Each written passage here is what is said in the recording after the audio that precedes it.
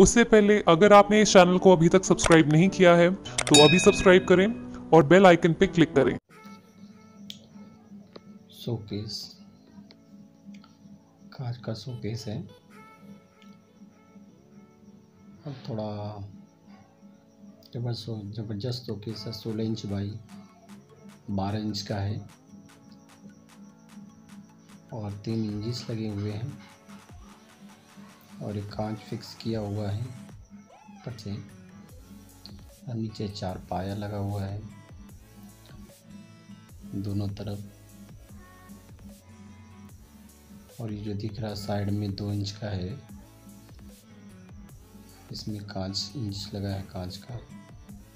ये देखो push magnet लगा हुआ है, जो ओपन हो रहा है push magnet. Push magnet open हो रहा है फ़िलहाल।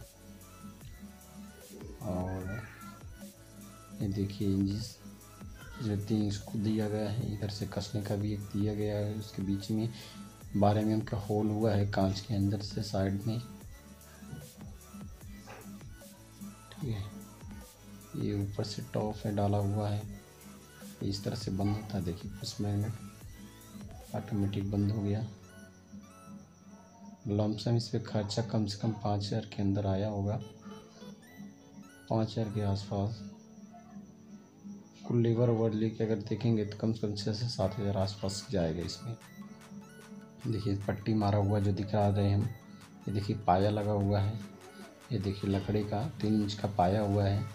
ये सामने जो दिख रहा है, ये इंजिस है। ठीक है चार, तीन इंजिस लगाए हुए हैं हम। तीन इंजिस है। और और आप देखिए ये ये जो अभी इसका सेल्फ बटन होल मार दिया हुआ है और होल मारने के बाद मारा हुआ है, इसको सिर्फ़ चार इसमें सेल्फ आएँगे। सेल्फ अभी रखा लगाया हुआ नहीं है क्योंकि अभी पॉलिश होगा या तो डिकोलेबलेशन होगा, इसके लिए इसको रखे हुए हम। तो सेल्फ बटन बाद में लगाएँगे। उसके बाद एक परफेक्ट वीडियो बना के आपको हम दिखाएँगे कैसा लग रहा है, किस कलर का हुआ है। फ़िलहाल अभी तो नॉर्मल हम बना के ऐसे रखे हुए हैं। इसका जब कलर हो जाएगा, जब कारपेंटर इसको कलर कर देंगे तो इसको कैसा लगेगा तो हम आपको एक वीडियो में ज़रूर दिखाएँगे। और ज़बरदस्त शोकेस है और ये शो पीस सामान रखने के लिए बहुत ही बेहतरीन